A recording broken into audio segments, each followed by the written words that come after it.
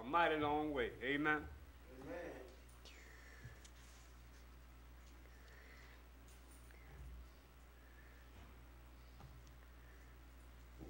And I thank God that He's been good to us all. We praise Him for everything that He has done and all that He's going to do. So now we're going to prepare to bring you a message from God.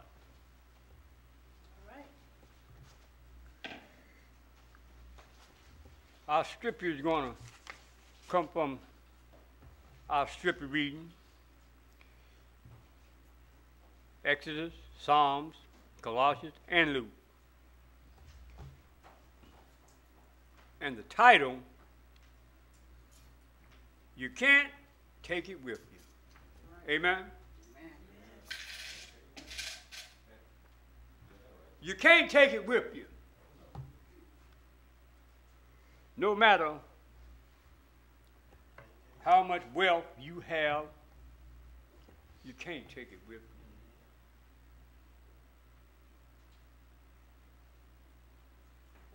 I thought about this. You can't take it with you. We're going to take a look at why I say you can't take it with you. First, we're going to look at Psalms. And we're going to start at verse 49 5. What shall I fear in time of trouble when the iniquities of my persecutor surround me? Those who trust in their wealth and boast of the abundance of their riches. Truly, no ransom avenge for one's life. There is no price one can give to God for it. Amen. I want to stop right there for a minute.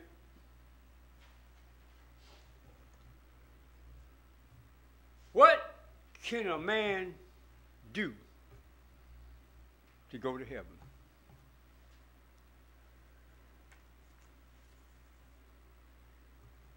I don't know about you, but there are a lot of us that life is built on being want to be rich. Oh yes, it's good to have nice clothes, a nice car, a nice home. But what I want to tell you, and what God is telling you here, you can't buy your way to heaven. Amen. Your wealth and all that you possession can't save your life from going to hell. You see, there are a lot of people in America, and I'm going to say other countries, even those who may be watching this from other parts of the world, you can't take it with you. No matter where you live at Africa, Jamaica, India, Thailand, whatever part of the country you live in, have you ever heard of somebody taking it with you? Now, we know back some 2,000 years ago when a king died, King Tut and all the other kings, they possessions, they believed that there was life after death. And they buried their treasures and gold and everything in their tomb. Amen? But archaeologists, after discovering, they found these tombs and everything. The king, the body was there and the wealth was there. There was no life after death. Amen? So, in other words, it's useless to say, bury all my wealth with me, because it's not going to buy you a part of heaven. And then we're going to go ahead down a little further. And we're going to look at verse Colossians, the third verse, down to number seven, and it reads Set your mind on things that are above, not on things that are on earth. For you have died, and your life is hidden with Christ in God. When Christ, who is life, is revealed, then you also will be revealed with him in glory. Put to death, therefore, whatever in you is earthly fornication, impurity, passion, evil desire, greed, which is idols. On account of the, the wrath of God is coming on those who are disobedient. Now, we know that I'm, I can't say because I ain't never been rich. I can't say that a rich man is wicked, but I can say he can't take it with him. We know that over the years, people that I've seen that had wealth and all things like that, they wasn't too kind to people. They were disobedient. They talked to you any kind of way. They put you down any kind of way. And even to the point that even today, they think they are God. Amen. You have people that have wealth, don't forget about God. God is nowhere in their vocabulary. God is nowhere in their life. And they think that it's all about them. You have people that have two and three cars. You got people that got one or two houses, they got them rented out and all this and all that. But where's God at in all this? I kind of like wonder, God bless you with this. He allowed you to have this.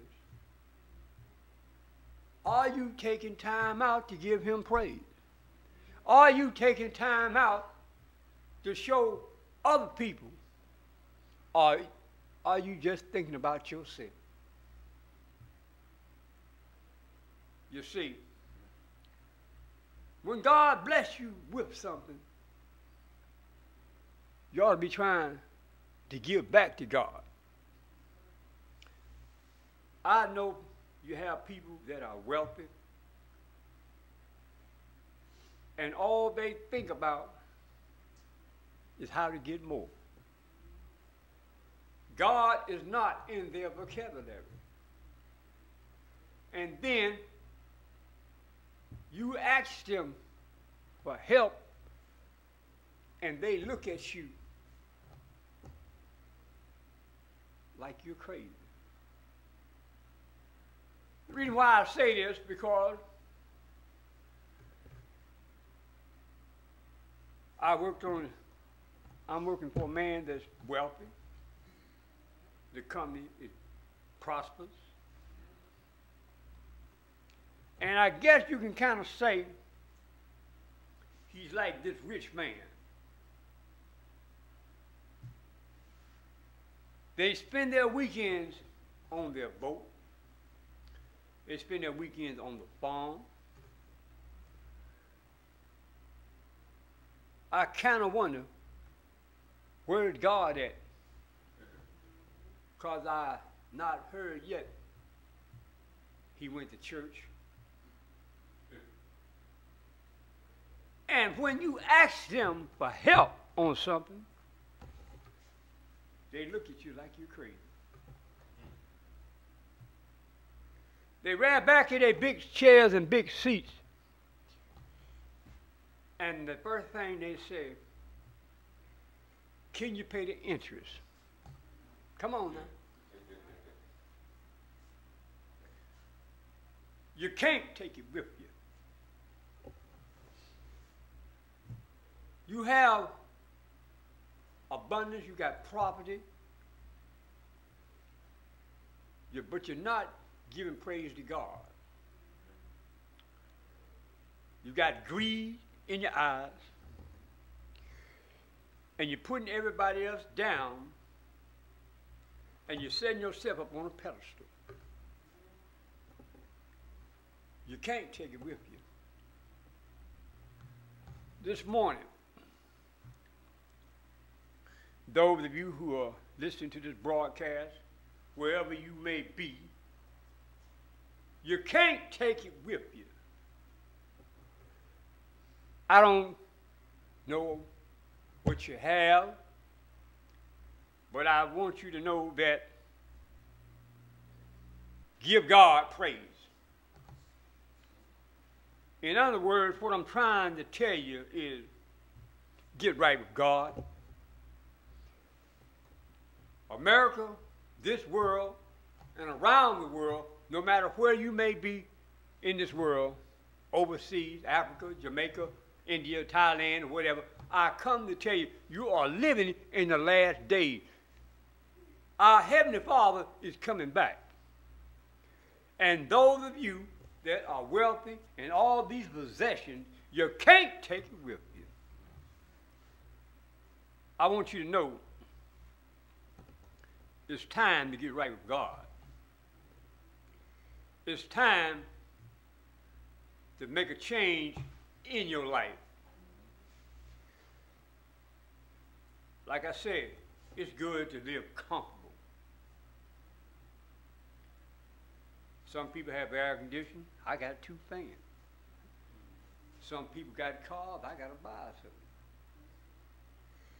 Some people have mopeds. But your thing is, I'm giving praise to God for what I have. Because I can't take none of this stuff with me. You can't take it with you. But what you can do is turn to your Heavenly Father and give your life to God. You're living in the last days. This is a time to ask God for change. Turn away from your disobedience, hatred, things of fornication, all this other stuff. God is telling you that it's time to make a change. I come to tell you it's time to make a change.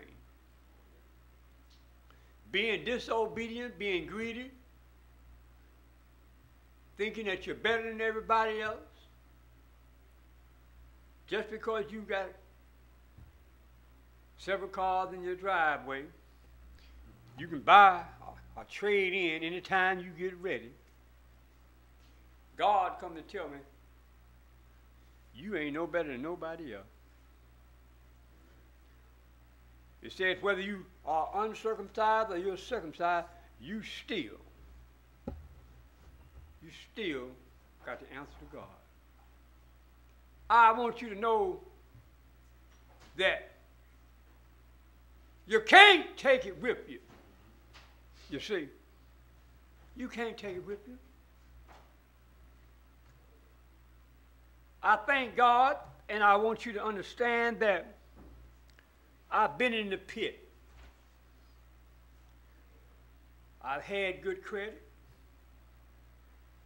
I had the nice cars. But I come to tell you, you can have all this, but you can't take it with you. You can't take it with you. Because when you go to the grave, it's ashes, ashes, dust to dust, and you can't spend no money. You can't buy your way into heaven. You can't buy your way into God's kingdom. You got to give your life to God. This morning, you got to make a change. God wants you to turn away from your disobedient ways. God wants you to help those that are unfortunate. You see, you got to understand, in order to get right with God, you got to do what God wants you to do.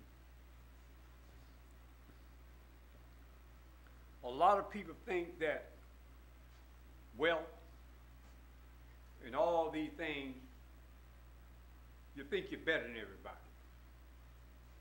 Well, I want you to know you can't take it with you. We have a lot of famous athletes that got money. We have politicians. Even now, we're going into a, a presidential debate where we're going to be electing a new president. And this is, from my standpoint, I've listened to the debates and everything. But if you watch, not one of them has said anything about God. Not one of them have said, America, we need to get close to God. You have all these all these things going on in the world. Murder, fornication, and all this greed and everything. But not yet have you seen any last one of these talk about God. Have you have not seen any of them bring the statement up about God. What America needs and around the world is more godly leaders. In other words, maybe we need a preacher in the White House. Amen. But I don't know, but I do know this much. We're living in the last days. No matter where you may live in this world, it's time for a change in your life. It's time to get right with God. In the White House, the big house, or the poor house, you need to get right with God. Because you're living in the last days and you're either heaven bound or you're hell bound. Now, where do you want to spend eternity? You can't take it with you. This morning, I ask you, are you one of these people that you think you're better than everybody else? Are you one of these people that you think about nothing about earthly things? All you think about and you talk about is what you want to possess. All right, it's good to have. I want to be like this. I want to live comfortable. I don't want to live fancy. I want me a new bicycle. Amen. Because I ain't got no driving license, so I don't need me breaking no law. You see. But my main goal and my object is to serve God the best of my ability. You see, since I found you, there's a change in my life. But then there's days when I wonder if it really it. Some of you look at me and say, Pastor, what are you talking about? I say that there are some days when I'm talking to God about certain situations in my life, and I'm still getting the same results. And uh, I kind of wonder is it all? Is it what I'm doing? Is it worth continuing? Because seems like some the fight I'm doing seems like it is not turning out the way it should. But God said, no matter what, keep on standing. Keep on trusting in me. In other words, he's trying to tell us no matter how bumpy the road may be, no matter how crooked the road may be, but if you continue to look and put your trust in me, everything's going to be all right. You see, that's what God's trying to tell us. You can't take it with you. All right. We are living in the last days. And God is trying to send a message. And that message is you can't take it with you. Yes. America is in a bad fix. Yes. America, wherever you may live in this broadcast, I don't know what's going on in your country, but I know if you don't have God in your life, and you're not standing on God's word, and you're living it by your own set of rules and regulations, Yeah. and you're thinking that what you're doing is the right thing. If it don't include God, Yes. you're not doing the right thing. And you can't take it with you. Like I said, we get ready to elect a new president. They s- claim that they can do this, they can do that. But I came to tell you, America, if you ain't got God in there, Come on, you ain't, you can't do nothing about God. Yes. You see, they make you all kind of promises, Yeah. and when you get there, it's a whole different story. You've seen it, I've seen it. Hey, they tell me I got to have health coverage. Now that I got it, I'm still paying more. Okay. And I can't take it with me. Well. You see, it's time for us to get some politicians up there, maybe a preacher. It's time for us to get more close to God. Yes. We just can't keep on trying to make the rules and regulations and actually America to abide by it. We ask God that He strengthen and touch these politicians, those ones that are of authority. Yeah. Give them the right frame of mind, Lord. Yeah. Help them to help those less fortunate. Give something back. You see, you can't take it with you. Right. This morning, I want you to know that we're living in the last days, America. Like I said, I, I don't have the air conditioning. It costs too much to get it fixed. But I'm thanking God for the two fans I have. Amen.